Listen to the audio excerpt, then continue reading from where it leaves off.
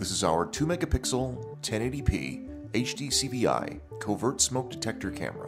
This HD CVI camera is built into what would appear to be a smoke detector, but instead gives you true 1080p high definition video at 30 frames per second with incredible image quality thanks to a 1 3rd inch CMOS image sensor, all without being conspicuous.